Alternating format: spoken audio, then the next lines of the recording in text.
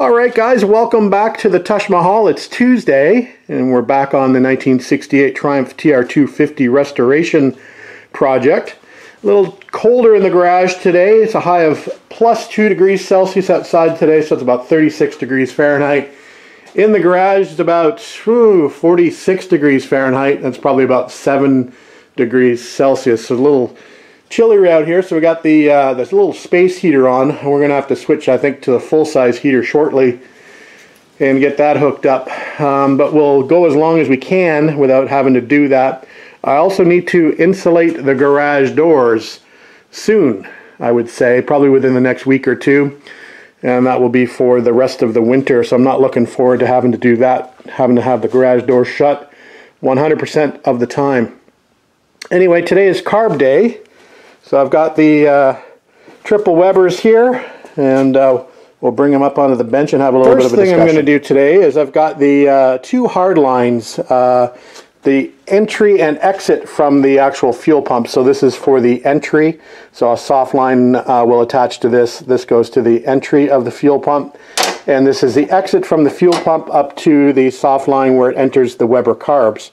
So I think what we'll do is we'll go ahead and install those on the car just to get them out of the way and then we'll have our chat about the Webers. And we'll break out the bag of bits. Uh, so this will show you the linkages and the mounts, etc., that we're going to have a little bit of a discussion about. Sometimes you have to undo a few things that you've done in order to get things uh, installed properly. So I've had to remove the distributor and the coil again, and also needed to remove uh, one of the alternator brackets, and I'm going to be removing this bottom bolt from the uh, water pump housing as uh, it picks up a little bracket to hold the fuel line in place. So we're going to go ahead and do that now. Just thought I'd uh, show you the routing of that uh, fuel line and uh, what we had to do to get it on there. So it's a little bit of a jigsaw puzzle to get it in place, but uh, once it's in there we should be good to go. Alright guys, carb time. So here are the carbs we're going to be running with. They're Weber DCOE 40, or actually DCOE 2 40s. These are about 30 years old, so they're Italian, which is great. There's the uh, little made in Italy, Bologna. So uh, we're going to play around with these. They still need to be cleaned up a little bit. Uh, I did clean them up significantly as opposed to what they look like when I took them off the car. And maybe I'll link to a video up on the right hand corner of me uh, soda blasting these and doing a few other things and rebuilding them. So they have all new internals. They were also um, put into an ultrasonic cleaner after they were soda blasted. So internally they're very clean. And uh, we've done a little few touch-ups and scrubbings here and there. Uh, cleaned up uh, most of the uh, brass that we could. Um, painted a few uh, things like the covers are painted. The uh, inspection covers are just painted or sort of fake cadmium coated. So they look a lot better than what they did. Having said that, they do not look brand new, so they have a little bit of patina to them, which is not necessarily a bad thing. They're not going to have as much bling as the brand new stuff, but the brand new stuff is going to age as well. So I'm happy with the way that these look currently. Alright guys, remember I mentioned the whole homemade aspect to these uh, linkages? Uh, well, here they are on full display. So you can see pretty much that these look very homemade. Lots of brazing, lots of uh, weird twisting. So uh, yeah, they don't look the greatest. Now whether I'm able to duplicate this with new parts or not, that's yet to be seen. I'm going to have to do some research, but I thought I would try to put this back together the way it came off the car initially anyway, just to see if I can get it set back up the way it came off, and that's going to be a bit of a puzzle all on its own. So let me go through a piece by piece. I'll put some stuff back on the car just roughly so you can see it back together. So as mentioned, most of the intakes that I have seen, if not all of the intakes I have seen, have been one piece. So there's actually three of the separate intakes, but joined by another piece of aluminum or cast or whatever. So if you take a look at Cannon or Pierce manifolds, for example, they're all a one-piece design, not individuals like these are. So if I take a look at this first piece that the previous owner I think has made, so this uh, apparatus here would go on these back tubes on the intakes, and that was to create a vacuum source for the brake booster, I believe. So that's how that would go. So I don't have too many concerns about that. So that looks like it's usable, obviously, with new hoses, new clamps, etc. And we'll get that cleaned up and painted. So I think that piece is usable. So we'll just leave that All right, right the next piece of the puzzle is actually this linkage bar. And uh, this, again, very custom made.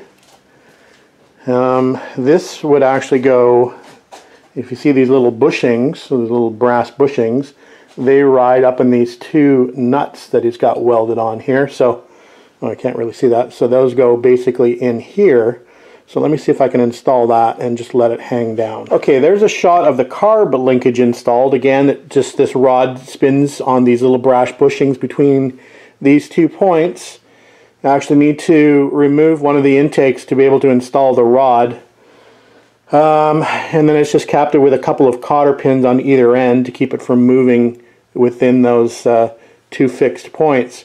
So here are the linkages for the uh, individual carbs, just sort of hanging down. So yeah, very homemade. These are a little uh, bent, and that's the way they came off the car. I guess they needed to, for clearance of the intake, so instead of repositioning the actual bar, they just bent it over. Anyway, that's what that looks so like. That leaves this piece here, which I'm going to be honest with you, I have no idea, I have no recollection of actually how this hooks up, so I'm going to have to do a little bit of research back in my videos and my notes. I believe this might actually attach to the pedal shaft or the throttle shaft and then this actuates the carb somehow. I'll have to figure that out.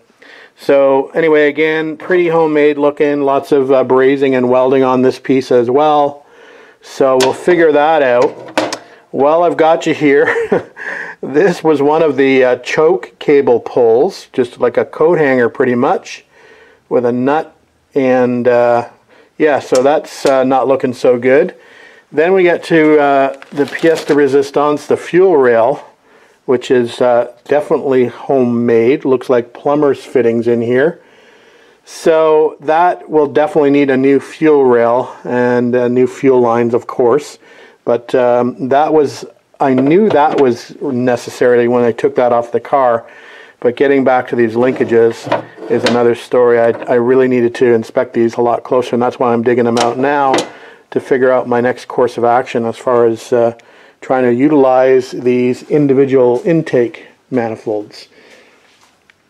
Anyway, it's going to be some hard thinking. So if you're curious on how this fuel rail would have worked, he had it installed under the car so it would have worked something like this. I don't know if you can see that or not. Something like that. And it would have hooked up to this fuel line here. So that's kind of like the fuel rail would have worked.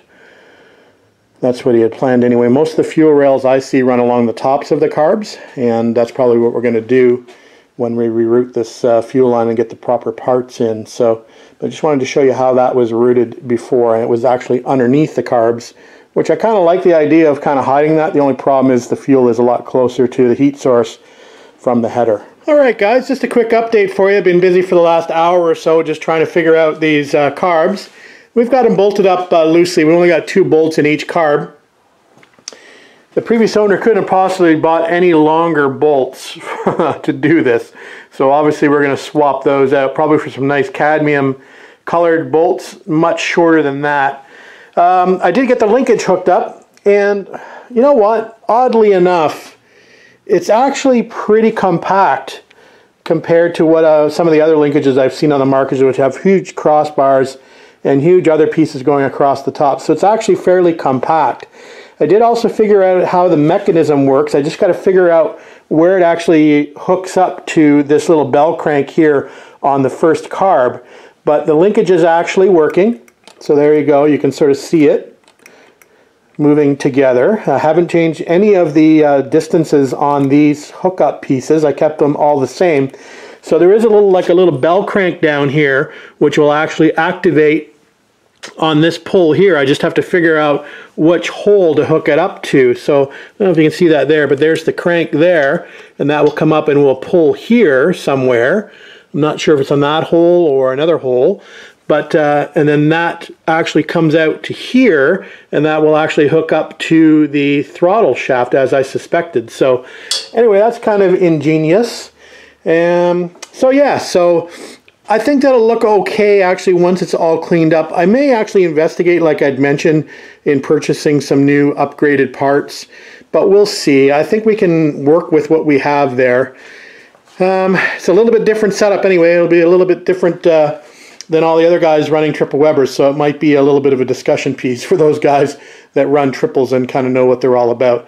Anyway, that's it for now, guys. Uh, we'll figure out what we're going to do next. We'll probably do a little uh, research into how that bell crank hooks up and see if I can find some old video or old photos of what hole that actually gets hooked up to in this little position here to actually get that operating off the crank, and then I'll bring you back once I figure that out. All right, guys, that's it for now. Alright guys, back in the garage after a quick break for dinner. And I did a little bit of research and a bit of uh, reviewing of videos and still photos of this linkage. And I determined that this pull, which is underneath here, which again, like I said, will hook up to the throttle shaft. So I've got that hooked up where it's supposed to be now. So if I pull on that, we've got a working linkage. So that's good.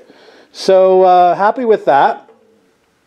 Um, I think I can make this look half decent if I uh, sandblast this up and make it look uh, nice and clean. I could probably get this powder coated to look okay. So I think we're going to probably go with that direction. And uh, we'll probably, you know, redo uh, some of the hardware on here, some new nylock nuts, for example. And uh, as I'd already mentioned, we'll probably get some nicer cadmium plated bolts that are shorter for the carb connections. And we'll probably get some new soft mounts. So it's got soft mounts between the uh, intake and the carb. They're like a, an uh, O-ring type soft mount. So I'll probably get new ones of those. But other than that, I don't think we look too bad a shape. What do you guys think? All right, let's uh, clean this carb up a little bit. I'm going to get this uh, remaining silicone off the front here. If you go back and look at my videos, you'll probably see that the previous owner actually siliconed in the chokes and venturis into the bodies of the carbs with these big O-rings, which should have never been done. So I'm not sure why I did that, but there's a little bit of gasket material re remaining there and we'll remove that uh, and clean it up. All right, one more gratuitous look of the Webers with the uh, air filters on. I did want to mention actually that uh, the previous owner of this car ran these Webers without any air horns or trumpets on them whatsoever. He ran them straight flat to the bodies with these filters on. And that is not the best thing to do for uh, Weber carbs. So I am going to invest in some uh, short uh, trumpets or ram horns or velocity stacks, whatever you want to call them, that will fit within these filters. Um, so that's some things I need to buy for this car. Um, I already mentioned that I'm going to have to buy the fuel fittings. Uh, I'm going to order the uh, the air horns as well at the same time. We'll get something that can fit inside these filters.